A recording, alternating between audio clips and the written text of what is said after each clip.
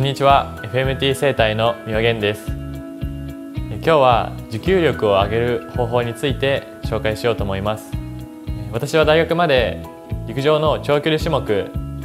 をやってきました。その中で長距離走長距離種目の一つのテーマが持久力いかに呼吸を楽にできるかということが一つのテーマとして取り組んでいました。当時はその心肺機能持久力を上げるためにその心肺機能を高めるためにとにかく練習をするしかないっていうふうに考えていたんですがその当時自分が参加した練習会でオリンピックなどに出場するようなレベルの選手からいろいろ意見を聞かせてもらうことがあったりまた今施術家となって今度は体の勉強を今した上で考えてみるととにかく練習を練習も大切なんですがとにかく練習をやるということだけ以外に体のパフォーマンスを上げれる方法はたくさんあったなということを感じています。その中でも今日は私自身も現役の時にどのように教えていただいたその効果になった少し心肺機能をが高まるような持久力が高まるような呼吸がしやすくなるようなエクササイズを紹介しようと思います。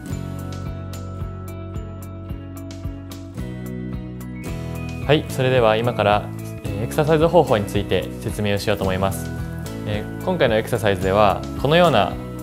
棒ただのこれは木の棒なんですがこのような棒があると理想的です。これはもしかしたらチームにあるところもあるかもしれないですしないところはないと思うんですけどホームセンターとかにすごい安い値段で売ってると思うのでこのような木の棒があのあると今回のストレッチはより効果的になります。ない方はこの棒を使った後のエクササイズでない方のバージョンをお伝えしますのでそれを見てください。ではまずこの棒を使って後ろにこのように手を回してこのような体勢を作ります。ちょっとこの棒は少し短いんですがもし購入これから購入をもしされるという場合だったら少し長めで本当に手がこのように完全に伸びてしまうぐらいの木の棒があったらそれが最もおすすめです。少しこれは短いんですがこのような棒でも大丈夫です。このような棒にこうやって首の後ろに棒をかけて手を後ろから回してこのような体勢を作ってください。でこの状態で手にとかこの首周りに力を入れずにできるだけもう脱力した状態をこの状態で作ってください。これが基本姿勢です。この状態から今度、体のセンターラインはずらさずにこのようにずらさずにまっすぐのまままず右側の方に倒していきます。そしてこの自分の今で言ったらこの左側ですね。この左側の肺とこの体側の部分を伸ばすようにこのセンターのこのラインをずらさずに左の体側を伸ばすようにこのように伸ばしていきます。でこの状態で、えー、この伸びている左側のこの肺の部分この肺のところに意識を意識してこっちだけで呼吸してるようなイメージを持ってください。こっちの肺で3回ぐらい深呼吸をしていきます。この伸びてる左側のこの肺の部分で、えー、意識としてこの左側の肺だけで深呼吸をしてるように3回深呼吸をします。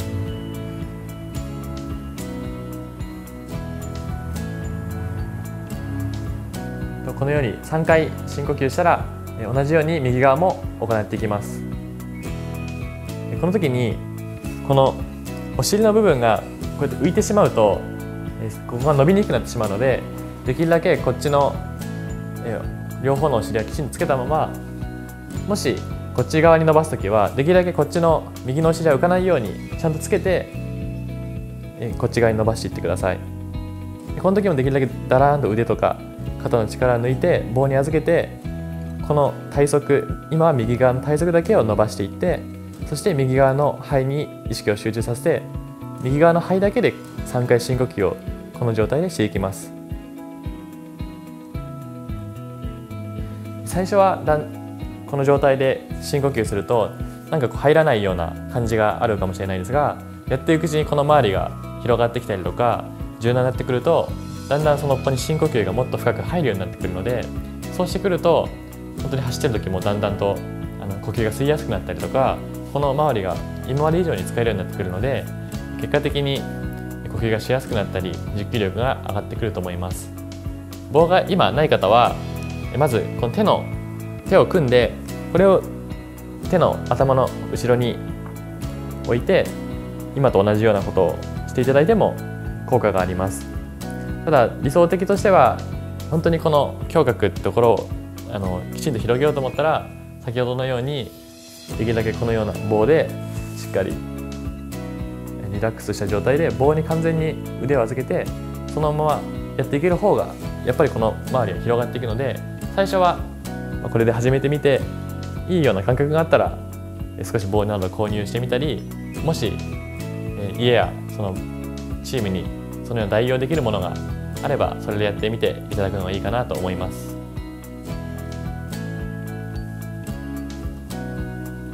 今紹介したストレッチをランニングの前